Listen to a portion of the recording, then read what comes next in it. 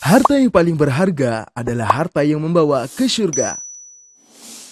Ayo sedekah untuk pengembangan dakwah Al-Quran Pesantren Tafiz Maskanul Hufal.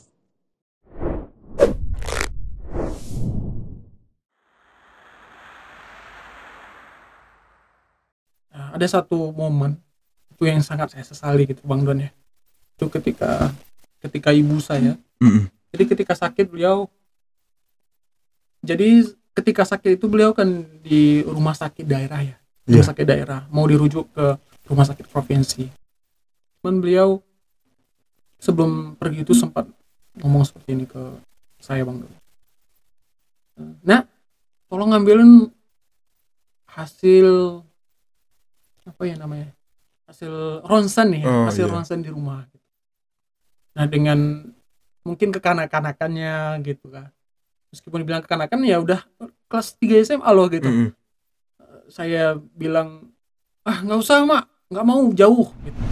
Itu yang satu kesesalan yang saya sampai ini masih ingat gitu. Jadi ketika kuliah ketika apa membahas tentang seorang ibu itu itu saya ingat masalah itu gitu. Iya, iya. beliau sempat sebelum pergi ke provinsi itu jaraknya 12 jam dari dari kampung gitu ya. Beliau ngomong seperti itu. Jangan sampai kamu menyesal kalau udah ibu udah nggak ada. Yang sebenarnya yang sakit itu ibu. Hmm. jadi ibu tuh sakit jantung gitu. Hmm. tapi Allah ya. Allah apa namanya tuh? Ayah dulu yang di yang dipanggil gitu. Oh gitu. ya ibu yang sakit Allah yang dipanggil. Jadi ayah bulan Juni gitu ya. Ibu bulan 12 nya bulan Desember coba ketika sekal ketika bertemu dengan ibu di rumah yang masih ada gitu coba sempatkan sekali serius kita minta maaf dan mencium kakinya gitu. Tuhan Tuhan tidak adil sama saya gitu. Kalau bahasa umumnya ya. Hmm. kenapa saya seperti ini? Kamu panggil kedua orang ibu kedua orang tua saya dan sekarang kamu tidak berikan saya kesempatan untuk menuntut ilmu untuk kuliah Iya. untuk menjadi orang sukses. Itu saya itu saya lontarkan di tengah sholat saya gitu BBM Bincang bareng Mapas. Assalamualaikum sahabat Quran, kembali lagi bersama saya Bang Don di podcast BBM Bincang bareng Mafaz. Dan kali ini saya mendatangkan atau mengundang seorang narasumber yang yang merupakan santri Maskanul Hufaz, eh, alumni maksud saya, alumni Maskanul Hufaz angkatan 2. Jadi eh, kakak kelas saya. Dan beliau sekarang mengabdi di Dedokterat 3 bagian media dan partnership. Dan beliau di sini di Maskan Lufas itu terkenal dengan keahliannya dalam berpublic speaking. Dan pastinya banyak mungkin cerita ataupun motivasi-motivasi dari beliau yang bisa kita ambil. Ya beliau adalah Bang Sandri. Assalamualaikum Bang Sandri Waalaikumsalam Bang Doni Apa kabar ini? Alhamdulillah baik Antum gimana kabarnya? Alhamdulillah khair Masya Allah Antum Masya Allah. cerah terus ya Masya ya Allah cerah mis- mungkin eh, cerah karena lighting Iya baik baik baik, baik. ya maaf ini Bang Sandri lagi nggak enak badan gitu Betul, memang saat ini karena musim hujan ya, Hmm, jadi bener. banyak ya dari teman-teman juga santri yang ya radang gitu, Iya. pilek, sakit kepala, demam gitu. Banyak. Iya ini sebenarnya lagi nggak enak kayak tapi ya nggak apa-apa lah karena sakit itu kalau kata Ustaz Ramdan dulu Hmm. sakit kalau sakit itu jangan dimanja betul. dia bakal betul, betah gitu kalau Iya dimanja betul betul betul betul Ah. banget tuh. Makanya ya udahlah eh, paksain aja sekali lagi masih ku- mampu gitu kan Betul. Yang penting jangan hati yang sakit ya, karena As- kalau hati yang sakit itu semua terasa hampa. Gitu. bener lebih baik sakit gigi daripada Daripada sakit, sakit hati, ya. Allah. Masya Allah. obatnya ke mana gitu ya Iya betul betul. betul. mantap Masya Allah Bang Sandri eh, Iya Bang Don. sebelum kita bercerita lebih dalam gitu kan lebih luas mungkin penonton juga para sahabat Quran eh, belum tahu nih siapa ini Hmm. Bang Sandri tapi kalau misalnya ada yang sering ikut katupat Oh iya katupat, iya kajian kanvas katupat, ya. ah, kanvas mungkin nggak asing lagi ngelihat wajah Bang Sandri ini karena beliau sering jadi MC di situ langganan MC online tuh ya. Di online. Kondang dalam online ya. iya Masya Ah, ya jadi mungkin eh, Bang Sandri silakan perkenalkan terlebih dahulu Ya, eh, teman-teman semua, Perkenalkan nama saya Sandri Mulia. Di sini sering dipanggil Sandri ya. Kalau di keluarga mungkin ada yang manggil Ari gitu. Eh Ari. Iya Ari. Kok Cuman bisa? itu hanya orang tertentu saja sih yang mau memanggil gitu. Oh. Tapi biasanya kalau abang di rumah tuh manggil Ari. Hmm, panggilan sayang gitu. Panggilan sayang ya. Ais. Masya Allah. gitu. Terus di sini angkatan kedua, alumni angkatan kedua Maskanul Hufaz Ikhwan ya. Hmm. Alhamdulillah sekarang sedang mengabdi. Insya Allah bulan Desember selesai pengabdiannya nih. Masya Allah. Kurang lebih perkenalan ya teman-teman semua. Kalau mau kepoin ya silakan nanti Asal follow asal. Instagram saya. Nah, baru pembukaan udah promosi aja ini. Oke, siap, siap. Asal asal asal asal dari Aceh. Nah, Oh. Aceh di ujung Sumatera, Masya teman-teman. Allah. Kita sama-sama Sumatera. Oh, Sumatera, Bang Don. Sumatera Masya juga. Allah. Tapi Sumatera saya agak awal Sumatera, Palembang. Oh, paling Enggak awal juga sih, agak tengah-tengah tengah ya, dikit ya. tengah-tengah. Hmm. Siap. Masya Allah orang Boleh. Aceh. Orang Aceh itu saya kalau dengar nama Aceh itu kayak selalu eh, kagum gitu Hmm. dengan peraturan-peraturan pemerintahnya juga kan yang Alhamdulillah. ya masih eh, menegakkan syariat beberapa syariat Amin syariat ya ya. Allah, amin. Terus terkenal orangnya itu ganteng-ganteng kalau. Amin. Ini paling diaminin ini. Orang Aceh itu kan Aceh itu biasanya dia agak keturunan-keturunan Arab gitu kan. Iya. Banyak gitu. Ada yang bilang seperti itu Iya. sih. Kayak Tengkurian kan orang Aceh tuh. Iya, Ganteng saat San- eh, Bang Sandri ini apa Amin. ya Enggak Allah. kalah ini sama Tengkurian ini gantengnya hampir 11 12 lah. Ya sebelah 12 cuman Oh. beda nasib nasib. aja ya. Masya Allah. Ya, kita jangan, jangan eh, menyesali nasib. Betul, betul. Ya, karena semuanya berdasarkan ketentuan Allah Subhanahu wa Betul, taala. betul, betul, betul, Bang. Jadi jangan apa pun kondisi kita, posisi kita, kita jangan pernah mengeluh. Betul. Karena semua yang eh, kita rasakan saat ini atas kehendak Allah, yang betul, betul. kalau kita nyesal berarti kita nggak setuju sama Allah. Iya, betul. Intinya bersyukur ya, Bang ya. Bersyukur, Syukuri apa yang kita punya. iya. Karena apa namanya itu? Sesuatu yang kita punya saat ini Heeh. bisa jadi itu yang diinginkan oleh orang lain gitu. Iya. Jadi syukuri apa yang kita punya gitu ya. Sampai kita mampu mengungkapkan kepada orang-orang bahwasanya saya lebih baik dari mereka gitu. Iya. Sampai orang orang-orang menjadikan kita sebagai panutan ya, Hmm. Eh, panutan contoh gitu untuk memotivasi mereka. Iya. Itu sih cita-cita seseorang itu ingin bermanfaat untuk orang lain gitu. Iya. Jadi simple gitu kan. Hmm. Udah cita-cita bermanfaat aja gitu. Betul. Oke Bang Sandri, Eh, sebelum di Maskanul Hufal dulu eh, di mana Bang Sandri? Pernah kuliah kah? Pernah kuliah, alhamdulillah kuliah di Padang ya. Kuliahnya di Kuliah Padang? Iya, di Padang. Kok bisa? Itu kuliah di Padang. Itu ceritanya panjang Bang Don ya. Kalau diceritakan mungkin 4 hari belum selesai gitu. Ya Allah. Gimana ketika itu sem apa namanya tuh sampai ke titik yang paling jatuh ya. Hmm? Yang titik yang paling rendah itu sampai ia menyalahkan Tuhan lah gitu. Nah, Ya Allah. itu titik yang paling menyalahkan mungkin bisa jadi salah satu teguran juga ketika itu dan menjadi apa ya, petunjuk hingga saya sampai ke titik sekarang ini. Berarti eh, ada cerita menarik ini guys, yang mungkin wah nggak semua orang punya cerita ini. Hanya Bang Sandri doang ini. Jadi teman-teman harus tontonin sampai habis ini. Ada cerita menarik dari beliau ini. Oke, Bang Sandri orang Aceh gitu. Em, eh, perjalanan sebelum ke Mas Lupa sebelum menghafal Quran, mungkin eh, di situ ada perjalanan-perjalanan yang mungkin tidak mudah. Mm. Itu seperti apa Bang Sandri? Kalau bercerita pengalaman ya Bang Don, dari kecil itu memang saya tuh sudah ditempa bahasanya gitu. Ditempa tuh bukan untuk menjadi orang yang cengeng gitu. Jadi Oh. ketika dari kecil dulu itu ketika di kampung itu saya sudah merasakan yang namanya konflik gitu. Oh.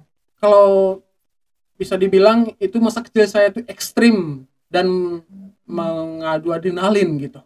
Oh, Bang Sandri ta- lahir tahun berapa? Ya 25 tahun yang lalu. 25 Oh, tahun yang sekarang lalu. umur 25 ya. Hmm. Masya Allah. Jadi ketika itu masih merasakan ya konflik lah, konflik antara Aceh dengan pemerintah Indonesia gitu. Oh, berarti Iya iya iya iya di masa GAM itu ya. Ya di masa GAM. Nah di masa GAM. Cuman apa namanya itu tidak merasakan yang ya, kesedihan tsunami saya nggak merasakan nggak sempat merasakan alhamdulillah karena memang kondi apa letak ataupun kampung saya itu di di pelosok di pedalaman gitu. Oh. Jadi ketika tsunami itu nggak kena alhamdulillah. Iya iya iya daerah pegunungan. Daerah pegunungan Oh, berarti jauh dari laut ya. jauh dari laut. Nah kalau kemarin itu sempat diundang ke sini siapa Mas Bang Rian ya Bang Rian. Nah beliau Oh. itu merasakan itu apa namanya itu kejadian suami itu masya Allah ya. Beliau merasakan langsung itu. Nah, kalau beda dengan saya, kalau saya di pegunungan itu merasakan langsung ya konflik perperangan gitu. Jadi lihat dengan mata kepala sendiri. Dengan mata kepala sendiri, Bang Don. Ya Allah itu gimana ya kondisi. Jadi gimana itu? Boleh cerita sedikit itu tentang eh, kejadian pada masa itu. Iya.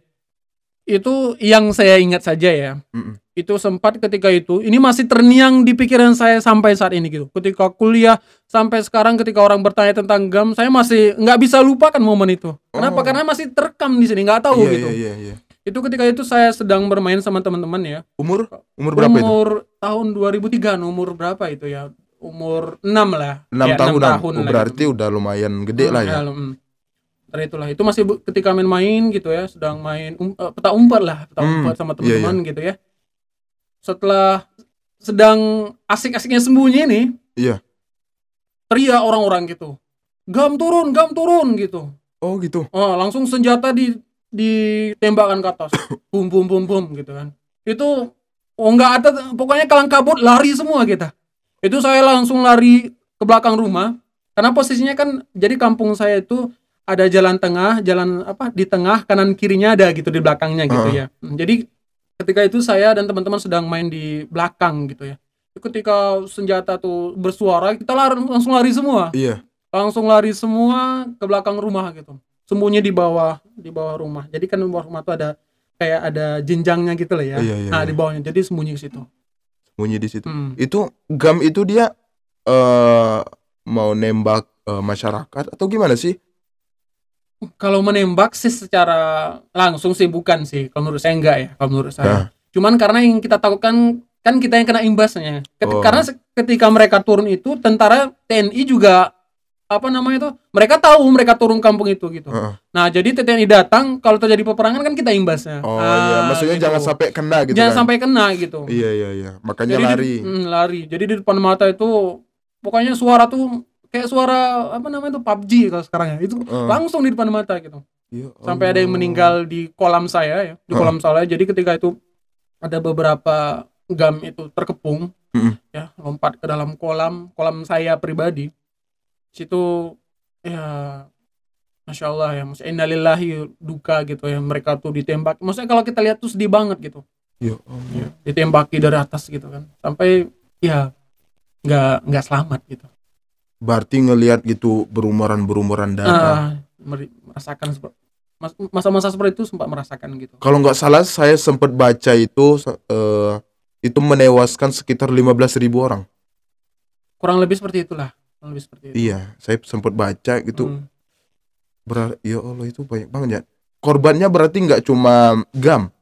Orang-orang GAM. eh ada juga sih orang-orang sivil sih Orang-orang sipil ada juga? orang sipil. Tapi nggak banyak kan? Nggak banyak cuman kalau di kampung saya nggak nggak saya kurang ingat sih berapanya gitu pasti ada cuman ya karena gam itu ke rakyat alhamdulillah nggak apa namanya itu nggak bukan tujuan mereka Iya, untuk iya, memerangi iya, rakyat iya, gitu iya, mereka kan kontra dengan pemerintah gitu Heeh. bahasanya gitu. Kalau boleh tahu eh, sedikit cerita itu gimana sih mereka sampai bisa membuat gerakan tersebut? wah ini bahas, bahas politik Iya, mungkin eh, teman-teman juga perlu tahu gitu kan. Jadi kenapa gitu? Iya, ini masuk ke politik ya, Eh. Bang Don ya, Masya Allah ya. Ya teman-teman mungkin nanti bisa lihat ya, mungkin baca di Google atau di mana pun itu gitu, gimana konflik GAM itu. Mungkin secara kurang lebih ya, kalau menurut saya yang pernah saya baca, yang pernah saya lihat bagaimana mereka itu memberontak kepada pemerintah untuk mendapatkan hak-hak mereka gitu, Oh, hak-hak mereka. Nah makanya itu pendirinya, itu kan ada Tengku Hasan Tedo ya, mm-mm. itu wafatnya beliau itu apa untuk mengenang wafatnya ada juga harinya gitu. Oh, Itu gitu. tanggal 3 Juni. Itu kita apa namanya itu setiap tanggal 3 Juni itu ada pernah bela sungkawa gitu memperingati gitu Oh. karena menurut rakyat Aceh itu beliau tuh termasuk ya pahlawan bisa dibilang Iya iya iya iya. meskipun di mata pemerintah mungkin lain ya walau Hmm. alam tapi intinya di mas- di mata masyarakat Aceh mereka beliau termasuk pahlawan lah Oh iya iya. mas politik nih ya ya secara garis besar aja lah. Saya kira besar ya. Heeh. kurang lebih seperti itulah teman-teman ya Bang Don ya Iya iya iya iya. jadi saya sempat merasakan masa masa kecil yang ekstrim gitu Iya masa iya. kecil yang iya. ekstrim ya seperti itulah merasakan melihat langsung perperangan gitu senjata Itu berlangsung selama berapa tahun terjadi konflik tersebut?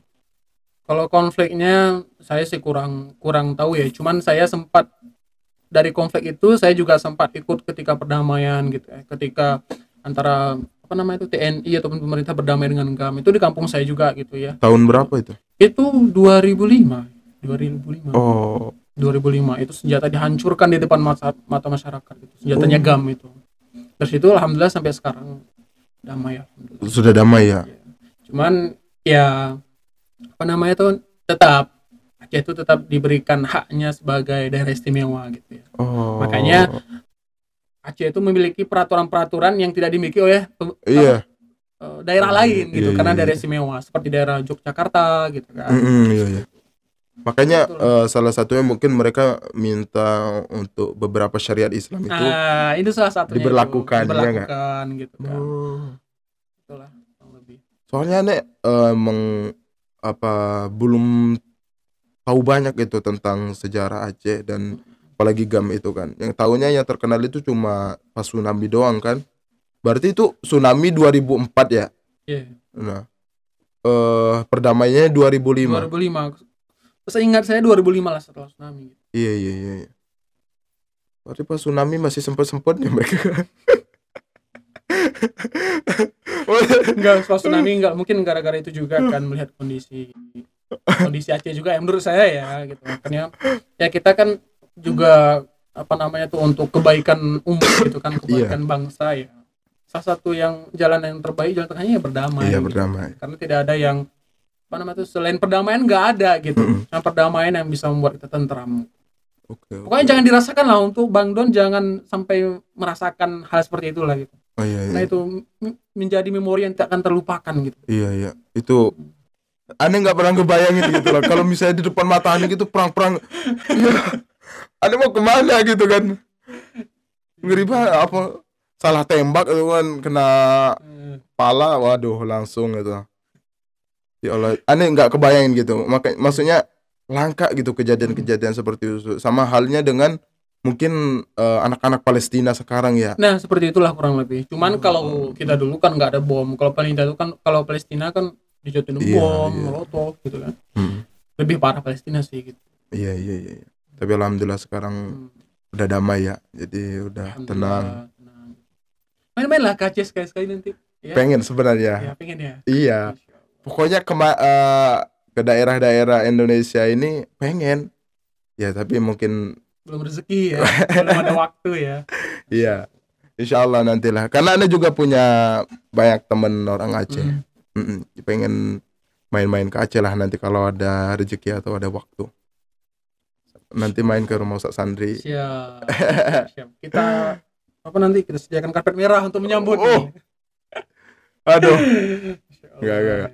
Eh, dulu eh, pernah kuliah ya. Pernah kuliah jurusan apa dulu, Bang? Kalau dulu jurusan sastra Inggris, alhamdulillah. Oh, orang Inggris ini. Amin, amin, amin, amin. amin.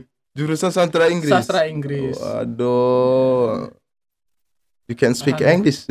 Ya? Yes, I can alhamdulillah. Oh. Little. Uh, do we have to uh, speaking English now?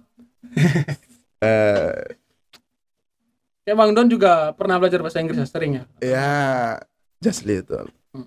Maybe mm, can you teach me English? We can setting Uh, our time. uh, Nanti kita ya. yeah, yeah, yeah, yeah, yeah. I wanna learn English with uh, Mr. Sandri. Hey. Siap, siap. Ya, siap. jujur Anda pengen pengen belajar bahasa Inggris itu. Maksudnya ya bahasa itu penting. Betul banget sih. bahasa saya Inggris juga sedang belajar Arab. sih saya juga sedang belajar Iya. setiap malam belajar sama kakak saya gitu kan dia guru di Pare gitu saudara lah gitu pernah ke. Pare nggak belum sih belum Oh, oke oke cuman saya lebih fokus ke public speaking sih gitu. Oh iya. Nah, cuman ya sekalian jalan lah gitu. Hmm. public speaking belajar bahasa Inggris. Tapi ya itu bang Sandri eh, kalau bahasa itu kan kita harus praktek. Betul. Kalau nggak dipraktekin walaupun kita bisa bakal hilang. Iya bakal hilang. Iya. itu saya rasakan banget itu. Vocab-vocabnya itu Ah, bakal hilang, hilang. ah. Heeh. betul betul. So if I meet with you can I speak English? Eh. yes you can. No problem wanna learn. Siap. Belajar. Oke? Oke siap.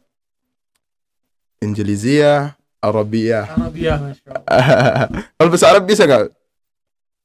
alhamdulillah belum.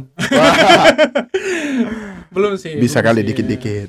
Cuman ya tahu dikit-dikit aja tapi nggak nggak bisa. Tahu anda-anda Iya, iya. Naam, naam. Ah, iya, iya, iya. Sekarang di dimaskan kan katanya nanti ke depannya kita harus bisa bahasa, Arab semua Betul, betul, jadi kita harus praktek betul. benar jadi kunci Betul. bahasa itu emang praktek Praktek. Mm-mm. kalau nggak ada praktek udah nggak bisa berarti kita harus membiasakan Hmm. speak English atau speak Arabic gitu Iya, betul. Speak English ataupun speak Arabic dan itu diapl- diaplikasikan dengan public speaking gitu. yes Kalau kita punya course. kita apa namanya setiap orang itu bisa berargumen gitu ya. Mm-mm. Bisa memikirkan sesuatu tapi tidak semua orang bisa mengungkapkannya. Heeh. Nah, gitu. Jadi semua orang tuh kalau dengan teori mungkin paham gitu. Heeh. Tapi ketika dia maju ke depan belajar itu yang membuat kebanyakan orang itu sulit gitu. Iya. Nah, makanya banyak orang-orang yang ketika maju ke depan itu gugup, Iya. gagap gitu. Mm-mm. Nah, gitu. mantap Karena semua apa lini yang kita lakukan, apa pun yang kita lakukan itu pasti berhubungan dengan public speaking. iya Apalagi bahasa kan. Ah. Nah, gitu. iya makanya penting emang Hmm. jadi ah saya dapat guru ini dapat guru Inggris mantap Saya juga masih belajar. iya iya siap siap kalau pengalaman pengalaman setelah pengalaman, kecil ya, ah, setelah kecil gitu ya.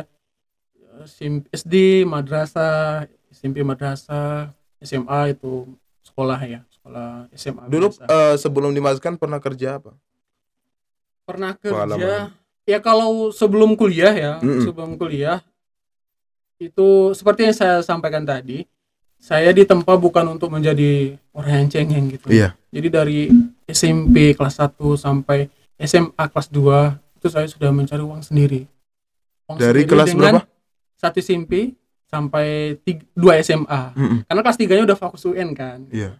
Di kelas 1 sampai kelas 2 itu saya apa namanya itu freelance lah gitu. Banyak Hmm. pekerjaan yang bisa tapi yang secara tetap itu jadi tukang cuci motor, Pernah jadi tukang cuci motor. tukang cuci motor. Itu berapa itu gajinya? Nggak digaji sih, tergantung motor yang kita cuci gitu. Maksudnya? Iya berapa motor misalnya satu hari dapat kita 10 berarti dibagi aja dibagi dua gitu. Satu motor berapa? Kalau dulu sih 14.000 ribu 14 ribu dibagi dua cuman orang yang nyucinya tuh nggak sedikit itu bisa 6, 7 nah itu Oh. nunggu motor tuh kan gantian tuh jadi Oh. misalnya siapa yang datang duluan si Pulan misalnya datang lagi si Pulan lagi yang lain Hmm. lagi gitu jadi kan nunggu kayak gitu Bar- kecuali biasanya- sendiri atau dua orang yang nyuci itu bisa kaya kita Iya. Tapi bi- Gitu. biasanya sehari dapat berapa? biasanya sehari sih dapat 50 50 Hmm. biasanya 50 gitu. Dan Itu- Eh, maksudnya orang tua itu memang nyuruh untuk mandiri atau memang karena keterbatasan ekonomi? disuruh sih enggak ya cuman lebih ke Kesadaran. kesadaran dan memang dari kecil tuh nggak belum pernah yang namanya merasakan apa yang kita minta langsung dikasih belum pernah gitu bang Don Nah, belum pernah itu bahkan ketika dulu sempat ya ah, kelas berapa saya lupa kelas 4 kelas 3 jadi saya tuh pergi jalan-jalan sama teman-teman. Saya nggak saya nggak punya sepeda. Jadi saya numpang sama teman-teman gitu Hmm. kan numpang sama teman-teman. Jadi pas udah jauh udah jauh saya ditinggal. Saya ditinggal jalan karena jalannya tanjakan dan teman-teman teman saya itu langsung pergi gitu dan saya tinggal jalan sendiri. Heeh. jadi datang lewat orang tua saya kan lewat Hmm. orang tua saya. Kok jalan? katanya. Teman-temannya mana? Dari mana? katanya. Hmm. dari sana ma dari sana gitu. Jauh pokoknya perjalanan pokoknya apa perjalanan itu cukup jauh gitu ya. Hmm. jadi ketika ibu orang tua lewat ya naik motor gitu ya langsung nangis gitu langsung beliau nangis gitu kan melihat anaknya jalan kaki ditinggal gitu kan Hmm. dan setelah itu adalah harapan untuk membeli sepeda gitu cuman ya nggak langsung dibeli juga sih gitu. nggak langsung dibeli juga kan harus nunggu dari kakak dulu lah gitu. dari abang dulu Oh itu waktu SD. waktu SD waktu Hmm. SD itu waktu SD saya masih ingat itu pokoknya suatu hal yang yang cukup apa ya sedih saya akan selalu ingat gitu Hmm. gimana ketika SMA itu saya juga pernah menjadi badut Jadi badut. jadi badut jadi badut betulan itu jadi badut untuk cari uang Heeh. cari uang itu udah SMA SMA kan kita udah agak Iya. iya. apalah gitu ya udah merasa minder gitu cuman karena posisinya saat itu karena boleh butuh uang juga gitu ya jadi jadi badut sama teman-teman dua orang es berdua lah gitu satu yang memegang kantongnya gitu Oh. pergi ke ke pasar-pasar gitu Itu kan badut itu biasanya ada bos ya kan? ya cuman ini kita tuh apa ya topeng badutnya tuh dari temen gitu dari saudara dari saudara jadi Hmm. dipinjam untuk cari uang Oh. itu sampai saya masih ingat tuh ketika itu saya pergi ke pasar malam Heeh. ke pasar malam itu untuk foto aja sekali foto lima ribu gitu kan sekali, Oh. sekali foto lima ribu sama badutnya gitu. Nah jadi pas itu ada satu orang seorang bapak-bapak ya mungkin karena iseng atau apa nggak tahu kalau malam. Itu dia menarik topeng apa? Apa namanya tuh topeng badutnya. Heeh. mau menarik gitu di tengah orang ramai. Itu saya kesal banget itu bang Don. Itu marah banget itu. Sampai saat ini saya masih ingat wajah orangnya gitu. Serius. Iya. masih ingat wajahnya rumahnya di mana saking se- keselnya gitu. Saking kalau dibukanya malu banget itu saya itu. Oh. Gimana Ken- coba itu sam- sampai sekarang ingat rumahnya di mana wajah orangnya gimana gitu walau alam kalau masih hidup ya tapi ya, saya- apa insya Allah saya sudah memaafkan beliau Oh. Kok bisa ya? Maksudnya iseng apa gimana itu bapak? tahu nggak tahu ya itu. Orang udah agak tua orangnya. udah udah tua cuman dia kayak orang pemerintahan gitu Oh. Maksudnya dia benci atau gimana nggak tahu gitu? pokoknya iseng lah dia pengen buka tiba-tiba gitu cuman Hmm. teman-teman teman saya ya yang megang kantong tadi langsung ngelarang gitu habis itu kami Hmm. pergi Tapi abis itu eh, nggak trauma gitu. cukup trauma sih jadi harus hati-hati lagi gitu kan lebih Jadi lagi. Itu gimana ya? pengalaman sih pengalaman ya. iya, iya. pengalaman gitu Dapat berapa itu jadi badut? itu nggak banyak sih sekitar 15.000 ribu Sehari? Iya. Ya. Nggak dibagi, ya? itu udah dibagi.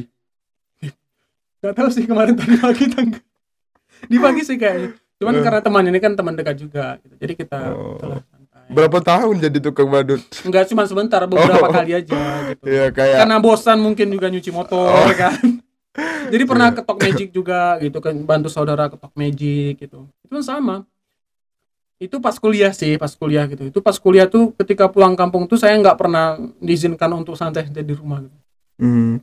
Jadi kalau pas kuliah kerja di Padang berarti ya? ya jadi pas pulang kampung kan pulang nih ke Oh. kampung Aceh nah di kampung tuh nggak dikasih tidur tiduran gitu kerja sana segala macam Iya. karena kan memang kita tinggal sama sama kakak bukan sama orang tua lagi jadi kan kita juga tahu diri lah bahasanya gitu Oh, oh iya. kita nggak bisa tidur tiduran Oh iya. Kalau nggak salah Bang Sandri orang tuanya udah nggak ada semua. ya? udah nggak Oh itu pas kapan meninggalnya? itu pas kelas 2 SMA naik kelas 3 Udah hmm, itu sakit atau gimana? untuk yang sebenarnya yang sakit itu ibu Hmm. jadi ibu tuh sakit jantung gitu Oh. tapi Allah ya Allah apa namanya tuh? Ayah dulu yang di yang dipanggil gitu. Oh gitu. ya ibu yang sakit Allah yang dipanggil. Jadi ayah bulan Juni gitu ya. Ibu bulan 12 nya bulan Desember. Ada lima bulan. Hmm. di saat cuman satu ya ketika apa namanya tuh nah, ada satu momen itu yang sangat saya sesali gitu bang Don ya. Itu ketika ketika ibu saya Mm-mm. Jadi ketika sakit beliau jadi ketika sakit itu beliau kan di rumah sakit daerah ya rumah Iya. sakit daerah. Mau dirujuk ke rumah sakit provinsi. Cuman beliau sebelum pergi itu sempat ngomong seperti ini ke saya bang. Nah tolong ngambilin hasil apa ya namanya? Hasil ronsen nih ya, Oh, hasil iya. ronsen di rumah. Nah dengan mungkin kekanak-kanakannya gitu kan. Meskipun dibilang kekanakan ya udah kelas 3 SMA loh gitu. Mm-mm. saya bilang ah nggak usah mak. Nggak mau jauh gitu. Mm. jauh. Karena memang jarak rumah sakitnya ke rumah saya tuh 15 menit. 15 menit lah naik motor gitu kan. Nah ketika itu keluar dari apa ya ungkap keluar dari mulut eh, ibu saya. gitu. Apa katanya? "Eh, jangan sampai nanti kamu menyesal kalau udah ibu udah mama nggak ada. Jangan sampai nanti kamu menyesal gitu karena kamu nggak mau dengerin apa yang mama suruh. Ya Allah. itu yang satu kesesalan yang saya sampai ini masih ingat gitu. Jadi ketika kuliah ketika apa membahas tentang seorang ibu itu itu saya ingat masalah itu gitu. Iya, iya. Beliau sempat sebelum pergi ke provinsi itu jaraknya 12 jam dari dari kampung gitu ya beliau ngom- ngomong seperti itu jangan sampai kamu menyesal kalau udah ibu udah nggak ada Ya Allah. itu saya ya Allah karena pas itu besoknya langsung pergi gitu dan Hmm. saya pas itu menolak permintaannya untuk ngambil ronsen dari rumah gitu. Mm-mm. dan itu percakapan terakhir saya ya langsung tetap menemukan dengan ibu saya ya Allah itu nyesel banget ya bang Nur. Jadi eh, jelang berapa waktu tuh ketika eh, Bang Sandi nolak itu satu Terus? hari satu hari. Terus itu nggak dilaksanain? nggak dilaksanain karena itu tadi karena mungkin kanak-kanakan atau mungkin enggak atau merasa gimana gitu remaja gitu ya jadi menolak dengan Hmm. mentah-mentah gitu sampai ibu mengeluarkan kata seperti itu ya Allah itu makanya salah satu motivasi saya untuk menebus itu menebus kata-kata yang apa menebus permintaan ibu saya ketika saya bertemu terakhir dengan dia gitu makanya Oh. saya ingin wah, memberikan satu hadiah ya setidaknya bisa memberikan pahala Quran Iya. iya. Berarti itu ketika eh, itu posisinya di rumah sakit. di rumah sakit Nah, terus eh ketika disuruh terus nolak, menolak dengan Hmm. dengan Iya. gayanya ah, ah. gitu Terus- lah kita. eh nggak ngomong-ngomong lagi gitu. nggak ada ngomong lagi Kenapa Maksudnya tuh? tuh ya ronsennya tetap diambil sama abang ya, Ah. abang tak kakak nggak tahu ya gitu Iya. cuman saya menolak pas itu gitu Ah, cuman se- karena penolakan saya itu ibu saya ngomong seperti itu gitu Ah, ah. Terus ada nggak eh, setelah itu percakapan apa ada ngobrol-ngobrol? percakapan secara by phone sih by phone ketika di sudah di provinsi Oh, Nah, oh, secara langsung itu terakhir itu dengan kata-kata itu Ah. tadi tuh jadi pas itu di masih di rumah sakit daerah, Ah, terus berarti Bang Sandri pulang. tetap di situ gitu Oh, tapi tuh ibunya dibawa ke, ke provinsi. ke provinsi pas beberapa harinya gitu Ah, ah. Nah, percakapan secara langsung itu paling saya ingat kata-kata itu. Jadi ketika beliau sudah apa meninggal, itu saya ingat kata-kata itu saya nyesal banget karena sudah menolak permintaannya ketika ketika itu. Setelah itu ada nggak percakapan perc- eh, ngomongin apa gitu pas eh, teleponan waktu itu? Pas teleponan beliau pernah sih eh, bilang Pesan terakhir gitu "Bay, atau apa ada, gitu? Ada, ada, ada. Itu juga yang membuat kadang tenang juga gitu kan. Hmm. Beliau mengatakan, "Eh, "Nah, ibu udah ibu udah titipkan uang uang uang, uang kamu ke kakak gitu. Hmm. tiga ratus ribu gitu kan, tiga ratus ribu. Karena memang kan saya tinggal sama ibu tuh berdua. Iya. Nah, abang ada abang dua sedang kuliah Hmm. di Banda Aceh gitu di provinsi. Saya udah titipkan uang kamu ke kakak ya, tiga ratus ribu kalau nggak salah kemarin. Dipakai bagus-bagus ya sebelum ma- mama pulang gitu. Sebelum mama pulang pakai bagus-bagus. Pulang maksudnya? Pas pulang ya sembuh lah bahasanya Ah. gitu sembuh gitu. Iya ma, makasih gitu. Mungkin pas saat itu juga dalam kalau saya ingat sekarang ya mungkin ya ibu saya sudah memaafkan saya gitu dengan apa kata-kata ketika menolak permintaan ketika di Ah. rumah sakit tadi gitu. cuman saya nggak bisa lupa gitu Iya, iya, itu ya Iya, Allah, pe- eh, saya juga ngerasain sih gimana kalau misalnya saya berada di kondisi kayak gitu kan. cuman kata-kata itu tadi bang Don Hmm. itu yang sampai sekarang saya nggak akan lupa gitu Iya. dengan kesalahan saya itu Itu secara sadar atau spontan? sadar sih Sadar. bodoh nggak Berarti itu kayak misalnya eh, apakah dulu saya itu emang agak nakal-nakal gitulah dan belum paham gitu. dibilang nakal sih enggak gitu ya dibilang paham juga enggak karena ketika SMA saya juga wakil rohis gitu Mhm. sudah paham gitu cuman karena nggak tahu ya itu bukan penyesalan kalau saya Hmm. ingat itu saya pasti duh ya Allah Rabbi Iya sih, iya. Iya, iya, iya, iya, iya, iya, makanya paham. saya pengen banget itu mencium kaki ibu saya gitu. Mm-mm. coba Bang Don pernah nggak cium kaki ibu Bang Don? Jujur. Hmm. belum. Nah gitu. coba deh ya. Bang Don ya atau teman-teman. Coba ketika sekal ketika bertemu dengan ibu di rumah yang masih ada gitu. Coba sempatkan sekali. Serius kita minta maaf. Dan mencium kakinya gitu karena saya pengen banget sekarang ini nggak bisa lagi bang Don Hmm. pengen nangis darah pengen apa pun nggak bisa lagi cium kakinya meminta maaf secara langsung nggak bisa lagi gitu jadi kalau masih ada kesempatan ya untuk kita bertemu mencium tangan mencium pipi mencium kakinya itu Hmm. pengen banget Iya. saya pengen banget Itu penyesalan Masya Allah ya.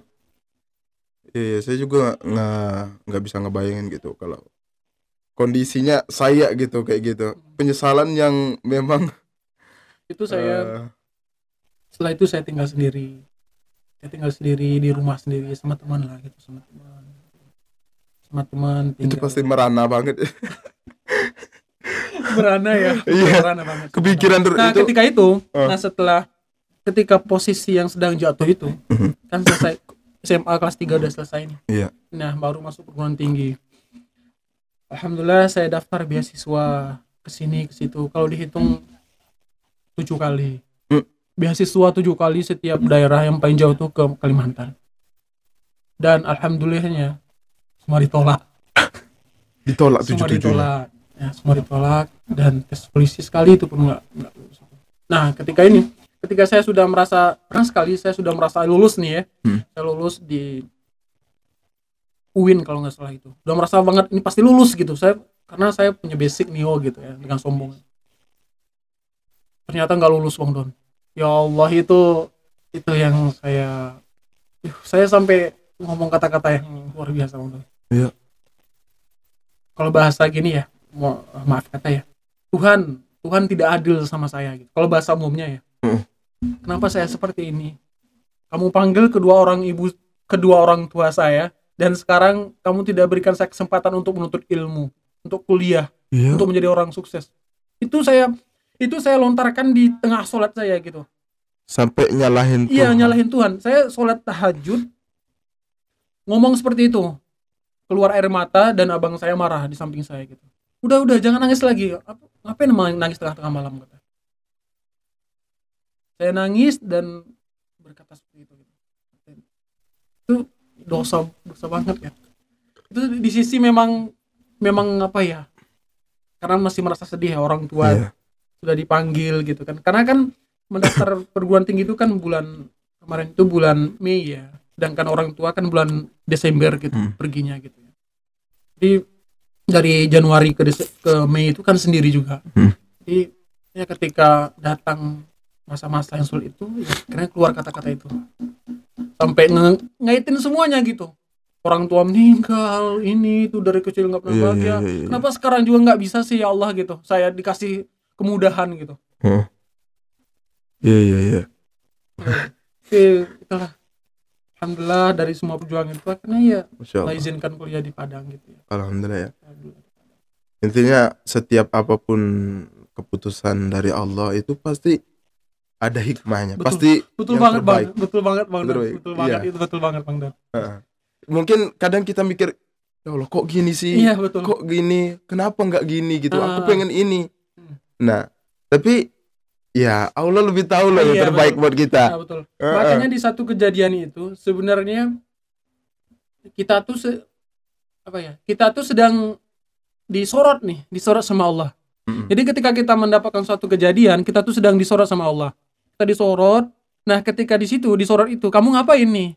Kamu ngeluh, kamu marah, kamu sabar, kamu tawakal, kamu berusaha, kamu bangkit, atau malah sebaliknya kamu menyalahkan aku, menyalahkan orang lain kata Allah bahasanya Iya. seperti itu gitu. Kita disorot.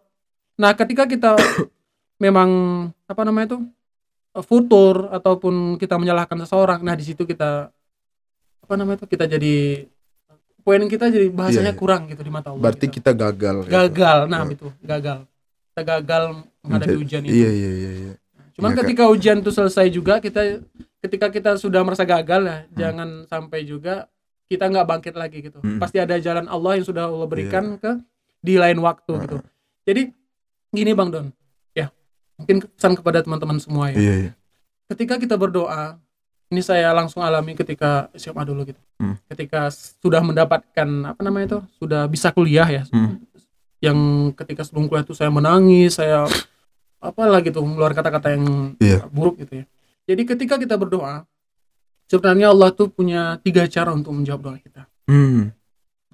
Yang pertama, ketika kita berdoa kepada Allah, Allah mengatakan, Wahai Fulan, aku kabulkan doamu itu. Iya. Nah, itu yang pertama. Nah, yang kedua, ketika kita berdoa kepada Allah, ya, Allah itu mengatakan, belum, aku pengen lihat usahamu. Kata Allah. Nah, Iya. baru yang ketiga, ini ketiga. Kalau kita berdoa kepada Allah, Allah mengatakan, jangan aku mau mau berikan yang lebih baik dari itu. Iya. Itu tiga cara Allah menjawab doa kita Iya, yang menurut iya, saya. iya, iya. Makanya jangan sampai apa pun yang terjadi sama kita, jangan sampai kita menyalahkan Allah, jangan sampai kita apa ya jatuh gitu. Iya iya iya. Jangan juga kita ketika kita berdoa jangan menjudge eh, bahwa doa kita itu tidak dikabulkan. Ah, betul. Karena bisa jadi itu tadi. Iya. Mungkin yang pertama, oke nggak dijawab. Atau Ah. mungkin yang kedua, saya pengen lihat usahamu kata Allah. Mm-mm. Mungkin nggak juga. Kita Mm-mm. sudah berusaha nih. Saya pengen lulus di Timur Tengah. Rupanya lulusnya di UGM gitu. Iya, iya. Berarti kan gagal. Iya, iya. Nah, mungkin yang ketiga nih. Tunggu, apa tidak? Saya ingin memberikan yang terbaik Iya. daripada itu. Akhirnya yang Iya. lebih baik itu mana? Di UGM Karena bisa. eh, memang Allah udah bilang ya. ud'uni Astajib lakum. Ya. Berdoalah kamu Kepada- Kepadaku Nah, maka akan kukabulkan. kuka- akan Jadi- kukabulkan gitu. Iya, mustahil gitu kalau Allah itu nggak mengkabulkan doa kita. Betul. Iya, iya, iya. Oke, oke. Mantap, Masya Allah. Ini Aduh, cerita yang waduh, di aduh ya Allah. Apa ya? Yang menurut saya ini banyak sekali pelajaran di dalamnya. Di situ ada penyesalan. ada usaha eh, yang luar biasa. Di situ ada sejarah-sejarah yang mungkin eh, tidak banyak orang yang memiliki sejarah itu gitu, kisah-kisah inspiratif. Masya Allah. Serius saya benar-benar merasa eh, mendapatkan hal-hal baru dari Bang Sandri ini, masya Allah. Oke, mungkin eh, ada pesan terakhir Bang Sandri buat para sahabat Quran gitu kan, ataupun buat saya pribadi. Iya. Ada kata-kata atau kesan dan pesan gitu buat teman-teman. teman-teman ya mungkin pesan dari saya karena saya juga butuh pesan sebenarnya itu banyak masukan nih sebenarnya Iya. cuman satu yang saya mungkin dari kisah apa yang saya sampaikan ya ketika orang tua masih ada coba deh teman-teman sekali pandang wajahnya pandang wajah kedua orang tua khususnya ibu saja gitu ya khususnya ibu ya. Pandang di suatu di suatu saat di suatu waktu pandang wajahnya kemudian peluk dia dan meminta maaf. Meminta maaf atas segala kesalahan kita kekurangan kita kepada kepada kepada dia. Dan setelah itu coba deh cium kakinya sekali saja. Minta ridhonya cium sekali kakinya saja gitu. Karena seburuk apa pun kita sejahat apa pun kita senakal apa pun kita ya sedurhaka apa pun kita setelah kita melakukan semua keburukan kepada ibu kita dia akan langsung memaafkan kita. Iya.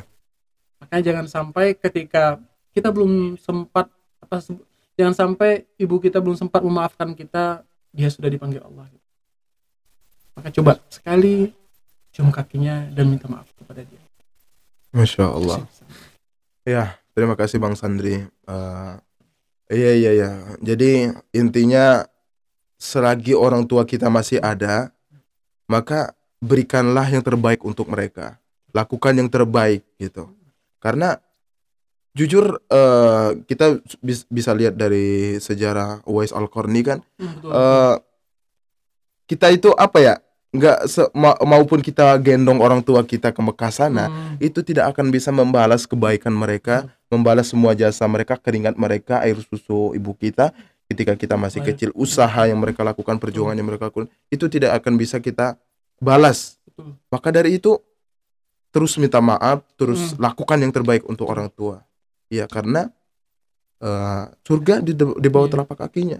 Maka jangan jauh-jauh kata Mbak, saya sering dengar pesan Ustadz, jangan jauh-jauh kalian untuk mencari eh, surga.